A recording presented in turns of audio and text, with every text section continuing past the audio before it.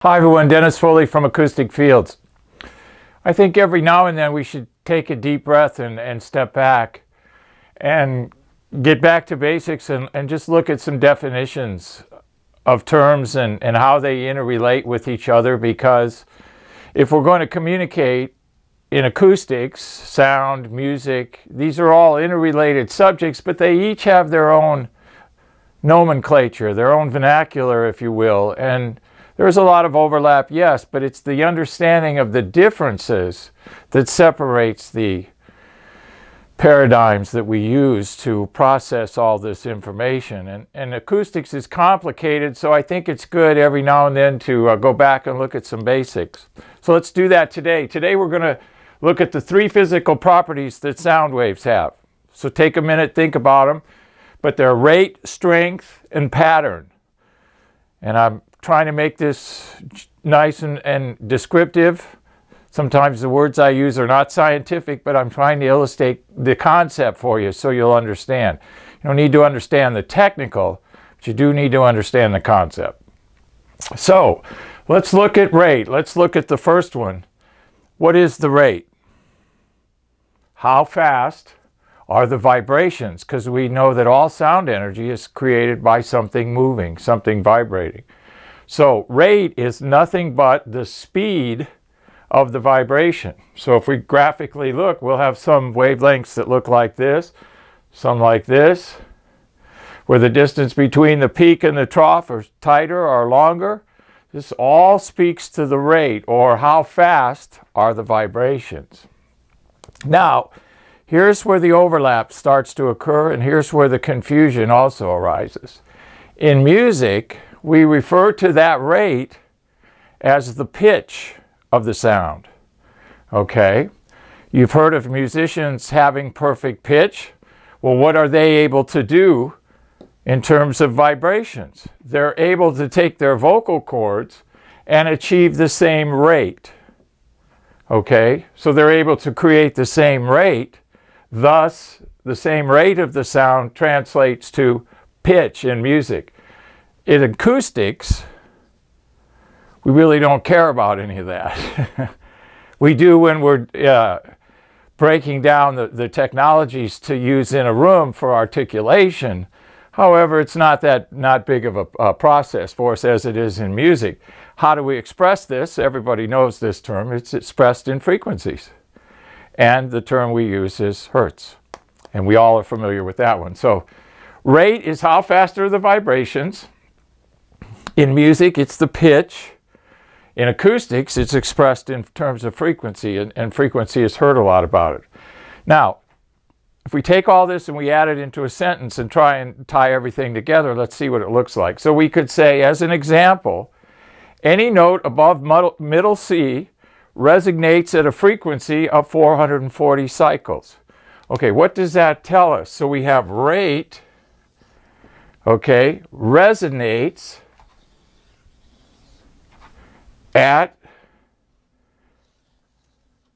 a particular frequency, which is expressed in hertz. So I think that example kind of illustrates rate and how it moves between music and acoustics.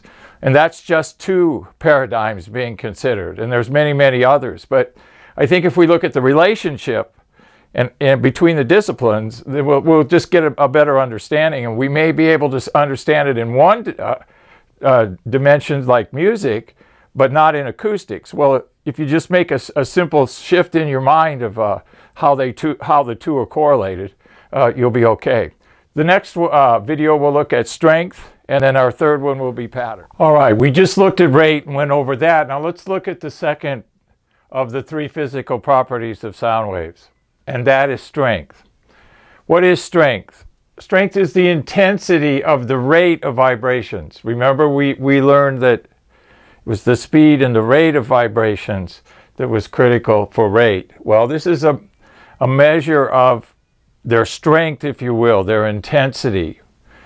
And whenever something has strength or, or intensity in one area, um, it all has to work. It all has to fit within what you're trying to do. So in music, what do we call that? Well, the strength of which is one of the three physical properties of sound wave, is perceived as loudness. And we all have heard this term, well, it's loud, the music is loud. Turn the music down, it's too loud. So loudness is the vernacular and, and the perception uh, that we use when, when in relationship to strength.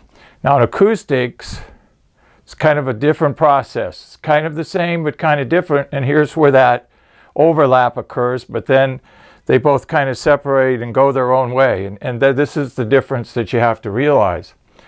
So in acoustics, it's wave strength, the amplitude, the gain. How, how much over acceptable baseline is it? Uh, what is the acceptable baseline? Well, it depends on our room. How much energy is in the room based on the volume of the room? How much energy is being worked in the room based on the dimensions, the ratio, height, width, length? All these factors have to be considered and taken into uh, the analysis. How do we measure in acoustics strength and the amplitude? Well, it's in decibels, so we all know it's this common one that we see, dB. So here's a good example of where strength, music, we perceive it and, and use the term loudness to describe it, but in acoustics, it has a whole different twist and a whole different process involved to it. So one kind of forms the basis for the other. Thank you. Okay, and then our third part of our three physical properties of sound waves that we wanted to go over today is the pattern or the signature of the rate and strength that we've talked about. So that's the shape, the waveform, the pattern that it takes. 60 cycles is different than 2000. So they have different shapes, different forms. The simplest, and we've all heard this uh, term before, is the sine wave. That's the simplest of all the waves of all this. Now, back to our differences between, you know, acoustics and music that we're using for comparison purposes here for understanding. So in music, what is music? Music is multiple sine waves. Many, many different sine waves to produce music, okay? In acoustics, what is a sine wave? It's really a test signal for us.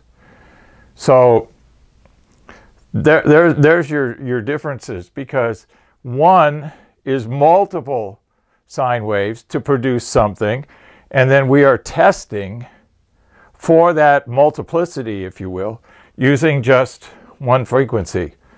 So think about that, and uh, we'll talk about that uh, in a, in a future video. Enjoy today's video. If you did, give me a thumbs up so I know that it had value to you. And please, if you have any questions, leave them in the comment section and I'll be more than happy to answer them for you. Alternatively, if there are other topics that you wish to discuss, discuss or see discussed in a video presentation, send me a, an email, info at acousticfields.com, and uh, we'll get them on our list and, and, get them done for you. I release a new uh, video about every week. So stay tuned to our YouTube channel and keep uh, updated on our new videos.